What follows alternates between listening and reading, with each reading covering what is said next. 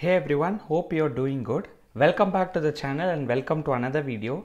In today's video, we are going to solve an SQL problem which has been asked by a lot of big tech companies. Here is the question. I had also posted this on LinkedIn a couple of days back. So we have the first table which is called calls. Okay. Here we have the name of the person and their phone number. Okay. This is the first table. So we have four people Ajay, Ashish, Andy, and Ann, and we have each of their phone numbers. The second table is called as call details, and this has the following columns it has the ID of the call, it has the caller number, so the phone number of the caller, it has the phone number of the callee, callee is the person receiving the call, okay, and it also has the duration of the call in terms of minutes as it is given here. So for example, this number 9449 called and spoke to this number 7528 whatever that is for 8 minutes. If we just look at the table above, we can find that this number 9449 whatever 10200 is actually the number of Ajay and this 7528 is actually the number of Ann. Okay. So basically what this means is Ajay called Ann and they spoke for a total of 8 minutes. Similarly, we have uh, the call details of some of the other calls here. Okay. Now we have the problem where they say write a SQL query to join these two tables and display only those names who had a total call duration of 10 minutes or more. Okay.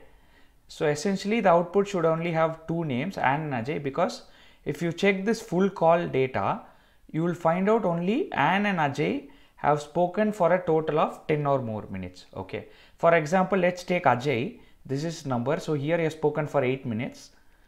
Then we have Ajay here where he has spoken for 1 minute and we also have Ajay here where he has spoken for 1 minute. So he has spoken for a total of 10 minutes. Similarly, Ann has spoken for more than 10 minutes which is why they want the output like this. So we need to write an SQL query for this. So let us jump into workbench and see how we are going to tackle this. Okay.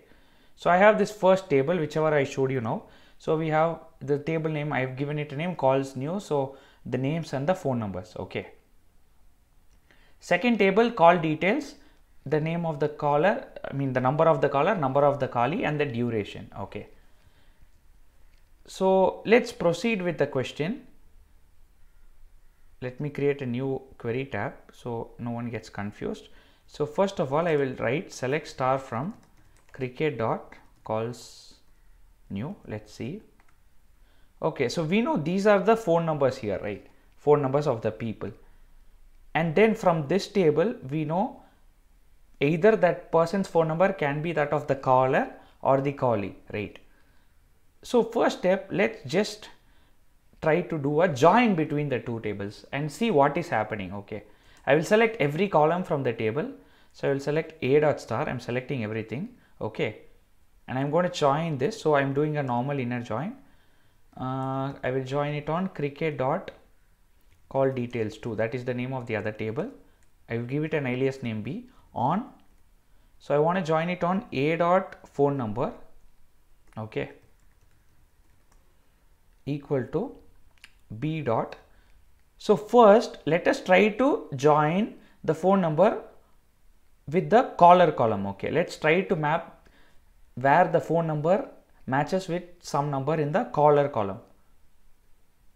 So i will say b dot caller okay? So i'm selecting a dot star. I'm also selecting b dot star. This is just a small way to get started. Let's see when we run what happens. So now you see okay it it does get some matches. So we have ajay's phone number matching to the caller number of this call and the duration was 8 minutes okay. So we are able to see we are getting about 6 rows that are matching okay. But we are matching it with only the caller details okay. So for example the callee details and phone numbers join we have not done yet okay. So this is getting us only one part of the equation. Wherever the phone number matches with the caller we get that data okay so instead of doing caller, if we change this join to callee, let's see what's happening. Now you see in the first call, Annie was the callee, right? This is her number and it is matching now with her phone number. Okay. By just changing caller to callee in the join, now we are getting a different set of six names because now we are mapping the phone number in the first table to the callee. Okay. So now we got two sets of different sets of data by doing two different joins. Okay.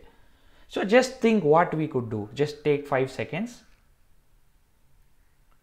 Yes, as many of you may have guessed it already. So now we could just use these two queries separately and combine them with a union, right? You might have seen union in my previous videos. It is basically appending two tables one below the other. So I will give one table for this join on caller and then I will say union and I will copy the same query again, put it down. But the only change I will make is I will join a one callee. Okay. Remember that here using union or union all doesn't matter much because there is no duplicates between these two sets of tables. If there was a duplicate, we should use union because union all may not remove the duplicates. But since here both the tables have different data, we don't need to bother. We can go with union. So once I do this, let's see what's happening. And for just uh, convenience sake, I will change the table names here to C and D. Okay. No need to worry much but yeah just do this. Okay. So it says unknown column a dot phone number. Okay. So i just need to change this. Since i changed the table names i need to change it to c and d. Okay. Now you get it so now if you see we got 12 rows okay so essentially we got the you know for example in this row the phone number is matching with the caller number. So we get all that and then from here the phone number is matching with the callee number as well. Okay. So now we basically have the data where we know what is the time that each person has spoken on different calls. For example, Ajay was the caller here and he spoke for 8 minutes in this call. However, if I scroll down a little bit to the bottom, you can see in these two calls, Ajay happened to be the callee. So he was receiving the call and he spoke for one minute here and one minute here. So essentially, if I scroll back up, there were only three calls in which Ajay was involved. So in this call, he spoke for eight minutes. In these two calls, he spoke for one minute and one minute. So Ajay's total comes out to be 10. Okay. What is a natural next step we can do? Just think about it. We have the names and the call durations regardless of whether they were the caller or the callee, right? So I can put this full table, okay, into a bigger table and now I can just do a subquery from that. So I can say select, let me give it a name say x, just an alias name, okay, would say select x dot name, okay, and we have the duration, right? We just need to sum the duration as you see, right, for each of the names. Can just say sum of the duration okay?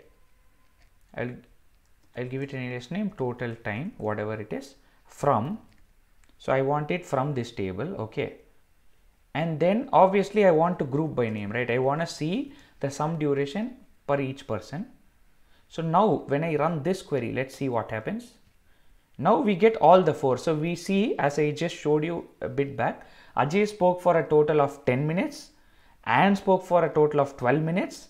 Andy spoke for a total of 5 minutes. Ashish spoke for a total of 9. In this, according to our question, we need to show only people who spoke for 10 minutes or more. Okay. How we can do that? We can simply leverage the having clause. So we could say having uh, whatever column that I have created that is total time is greater than or equal to 10. I put that filter and they also want us to do one more thing sort them in descending order of time so i could say order by total time descending okay so when i run this now now i get only two names because only these two are greater than 10 or equal to 10 and they are sorted in descending order. And since the output wanted us to just show the names as you see here so i can just go back to the subquery original and i can just for example remove this part okay. But if I remove this part I will have to be careful about the having condition we are not defining uh, total time right? So we'll have to say having sum of duration and then order by also you change the same okay? When I run this we get the Ann and Ajay names okay? So this is the expected output we have reached here. This is one solution but there is actually even a little more easier way in SQL to do it okay instead of straining so much and adding the union or all that what we could do is option B. So when we are doing an inner join we could do the join on two independent conditions in the same query okay? So what I could do here is I could say select whatever a dot star b dot star all that stuff on this okay? And I could just add the keyword or and I could say if not on this try to join on the callee instead of caller okay. So in the same query we could incorporate that. So for example if I just select this part and run it you can observe and see what happens. Okay.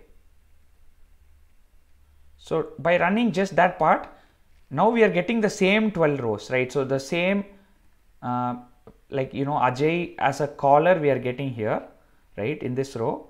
If I go down little further here Ajay is the callee that one minute and similarly the last row Ajay is the callee. So instead of writing union and writing separate query, we could just add an OR condition in the join and this works pretty much the same. The outer query doesn't change, it remains the same. I just removed the union and just added the OR condition. See how it's way simpler by doing this. So now when I run this query, again I will get only Ann and Ajay because the rest of the query doesn't change. Still I am putting the condition sum duration greater than or equal to 10 ordering by that sum duration descending okay. But instead of union I just added an OR condition and basically we, we optimize the query by just adding one line instead of adding another new query with the union okay. So this is another approach. There's also another subquery approach which few people have told. Uh, so that is also possible. So you could do the union and do the join outside okay and uh, still uh, get to the answer as well. So you can try that third solution by yourself. I hope you understood what I meant. But these are two ways to uh, getting here.